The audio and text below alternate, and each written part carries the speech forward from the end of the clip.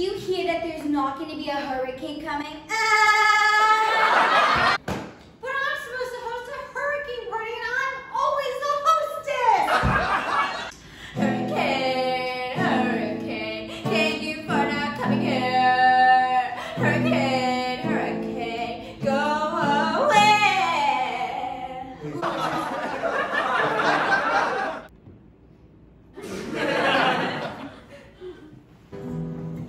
Hey Taylor, Hey Phoebes, guess what I just heard? There isn't gonna be a hurricane, which means we don't have to hide the chick and the duck.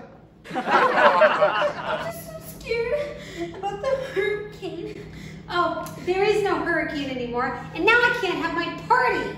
But I just bought a new outfit from Bloomingdale's. Hey guys, so I'm done shooting my thing as Dr. Amore, and I find out that there's no hurricane, which is great because now that means I can hit up the bar and get some more girls and say things like, "How you doing?"